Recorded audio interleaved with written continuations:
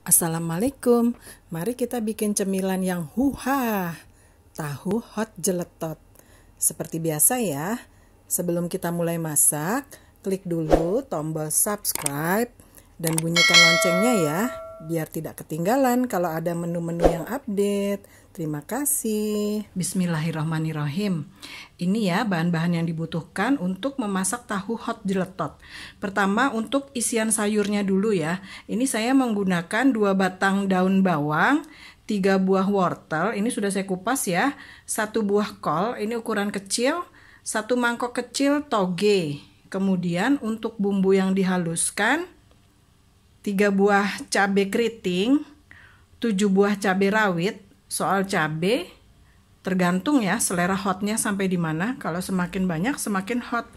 Nah ini 5 siung bawang merah, 3 siung bawang putih, 1 sendok teh merica, garam secukupnya, gula pasir secukupnya, tidak lupa minyak goreng. Dan ini yang utama yaitu tahu. Tahu goreng ya. Satu lagi tepung serbaguna kita mulai proses ya. Pertama saya parut dulu wortel.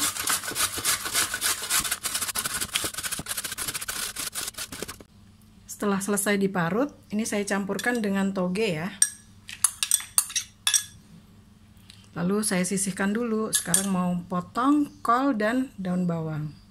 Sekarang saya rajang halus daun bawang.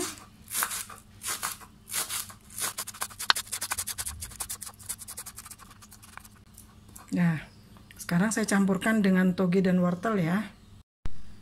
Lanjut dengan merajang kol. Ini saya belah dulu jadi dua. Ini apa ya namanya ya? Bonggolnya ya. Bonggolnya saya buang dulu.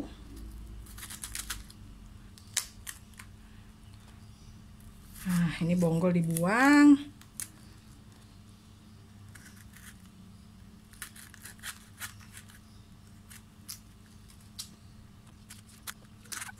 Oke, sekarang saya rajang halus ya.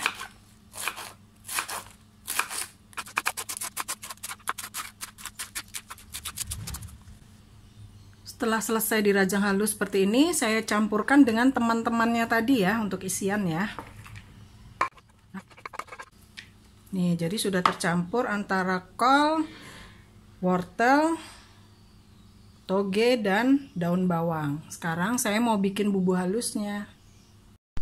Ini bumbu-bumbu bawang merah, bawang putih, cabai, lada, garam, dan gula pasir akan saya haluskan ya.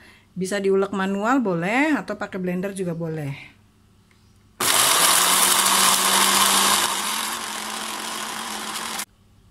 Ya, sudah halus bumbunya. Sekarang saatnya menumis. Sebelum menumis, saya mau keluarkan dulu isi tahunya ya. Nah ini caranya begini, ini tahu kita potong seperti ini, kita lubangin ya.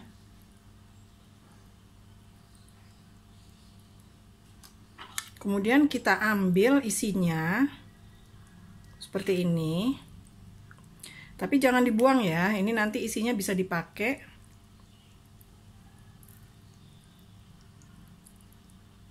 Nah ini gunanya isinya dikeluarkan itu biar nanti tahunya lebih crispy. Kalau tidak dikeluarkan tahunya jadi basah ya di dalamnya. Dan lagi ini isinya biar kena bumbu juga.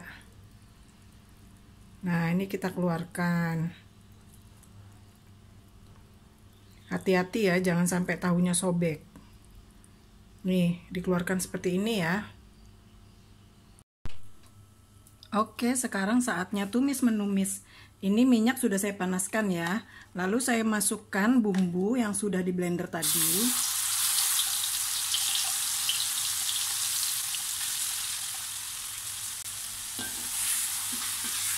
Saya tumis sampai harum ya.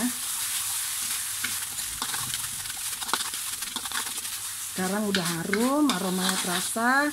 Saya masukkan tahu isi isian tahu tadi ya. Bagian dalam tahu tadi. Saya masukkan. Saya tumis sambil dihancurkan.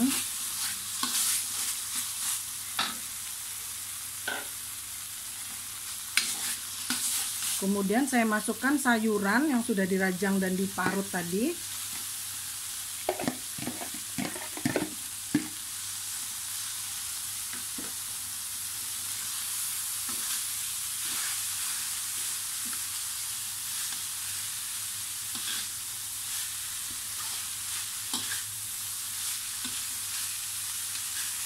Ini ditumis sampai layu ya.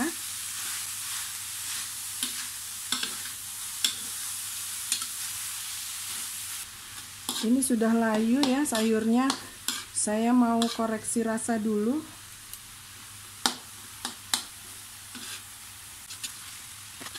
Alhamdulillah sudah enak. Hmm, pedas kadang-kadang kita nggak bisa menduga ya cabai rawit itu banyak tapi nggak pedes. Ini kebetulan cabenya pedes nih. Oke jangan terlalu matang sekali ya nanti gisinya hilang. Kita matikan api kita biarkan dingin nanti kita isikan ke dalam tahu.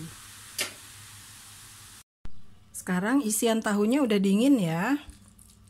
Sekarang mau saya isikan saran saya pakai sarung tangan ya daripada tangan kita nanti ikut hot.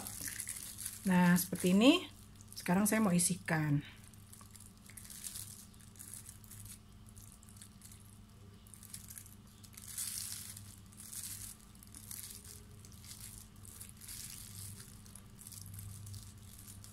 Kita isi yang penuh aja ya. Jangan pelit-pelit. Ah mau dimakan sendiri nah kita isi sampai penuh. Kita tekan-tekan masuk ke dalam.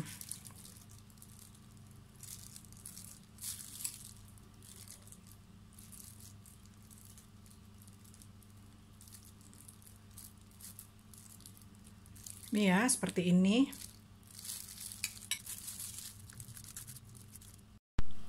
Alhamdulillah sudah selesai saya isi semua ya ini Sebelum digoreng kita bikin adonan untuk celupannya dulu ya. Ini tepung serbaguna. Saya cairkan dengan air, tapi jangan terlalu encer ya. Dan jangan terlalu kental, jadi sedang aja seperti ini. Lalu saya celupkan tahu yang sudah kita isi tadi ke dalam adonan tepung. Kita baluri ya biar rata. Sekarang saatnya menggoreng.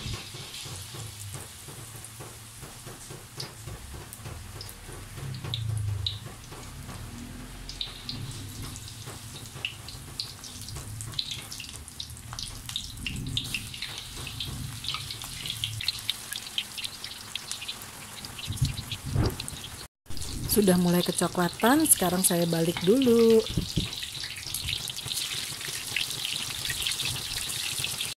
Ini udah kecoklatan rata ya siap diangkat.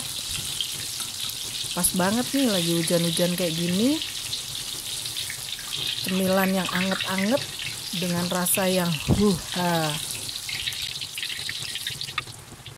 Alhamdulillah siap disantap